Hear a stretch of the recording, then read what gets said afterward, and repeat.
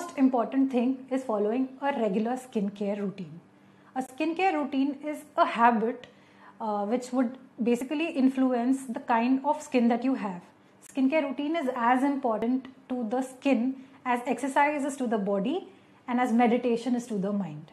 Following a regular basic cleansing, toning, moisturizing routine can do wonders to your skin if you stick to it. It is easy to maintain once you've started. What it would give you is a glowing, healthy skin if you know what is the right product to use for your skin type.